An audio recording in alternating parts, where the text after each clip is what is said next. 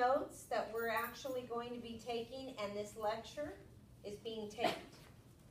So if you need to go back and listen to it, you can listen to it, okay?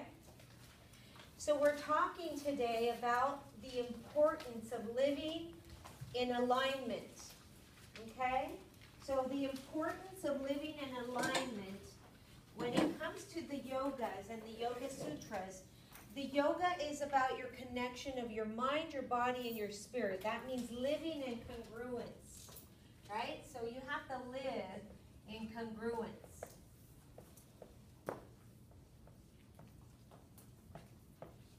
What does congruence mean?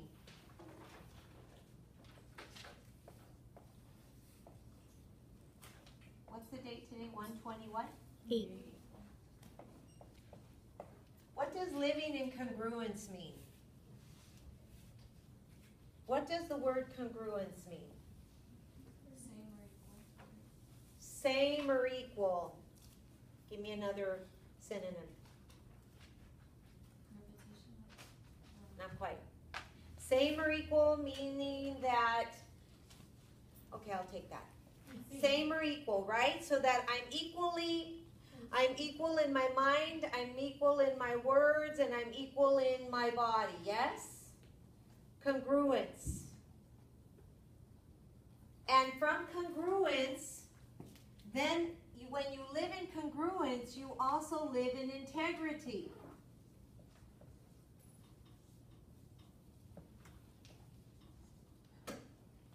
Yes? Smile, guys. It's not that hard to comprehend, right? Mm. You live in integrity. Who knows the meaning of integrity?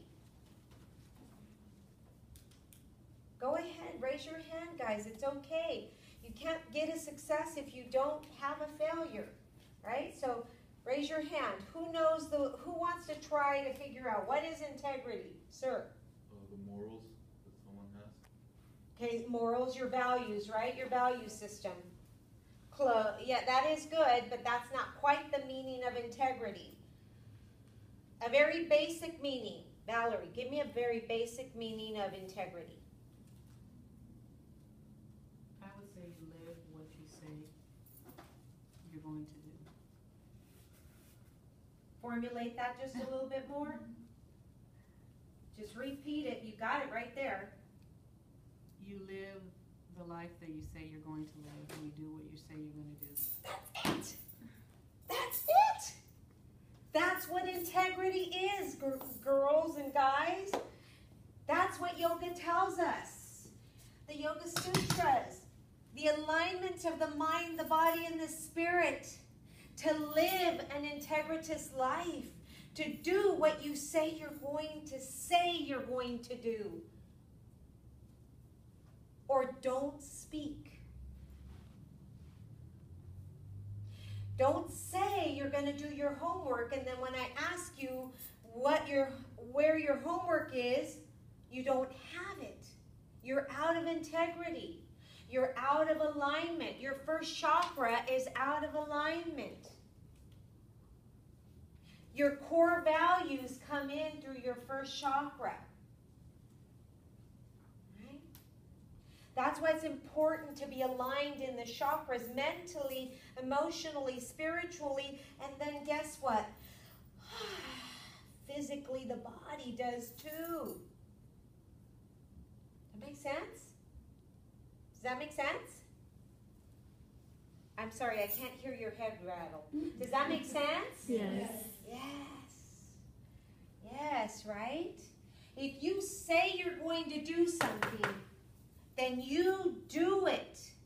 That's basically the law of integrity. The law of integrity.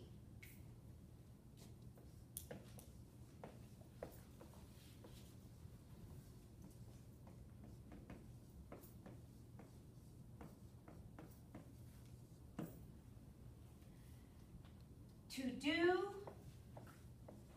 what you say. Oops. You are going to do.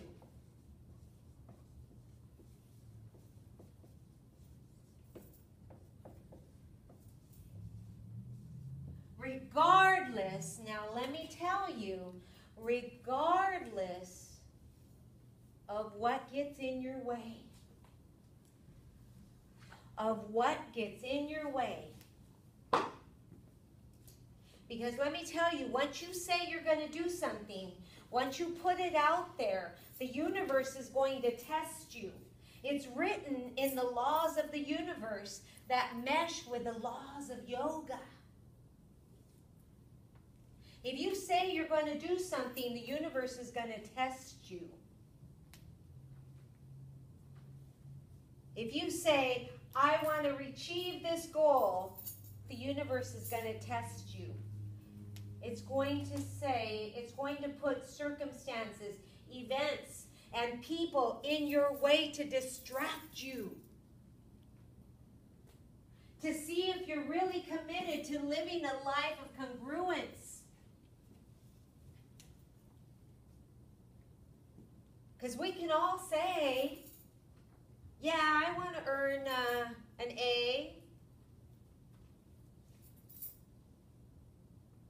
But you know what? Oh, I just didn't do my homework. You think that's A? No. That's an A attitude? No. Right? So we have to be very careful. We need to be very careful. We must live a life of congruence. Live by the law of integrity.